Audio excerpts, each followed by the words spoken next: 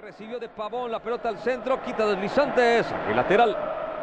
Pero Boca parece que no se va a defender, sino que quiere buscar el tercero como, como se imagina uno que tenían que ser las cosas teniendo la ventaja numérica.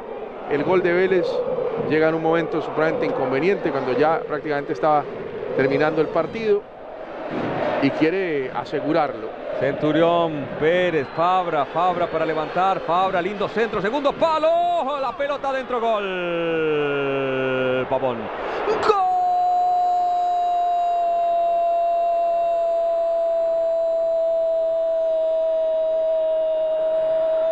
¡Gol!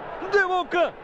De Boca Pavón que había puesto dos asistencias de gol. La pelota pasada no pudo reaccionar. El arquero Asman. Le anotamos asistencia. Fabra Boca tiene 3, Vélez 1, minuto 40 del segundo tiempo. El octavo gol en el campeonato para Pavón, el que peca y reza empata a propósito de la Semana Santa.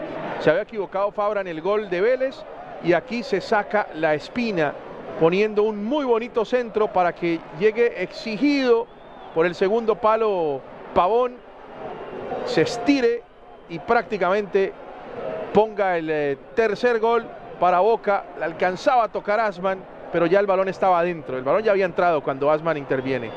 Bonita anotación, bonito centro de Fabra. El partido no estaba para el 2 a 1, Tito.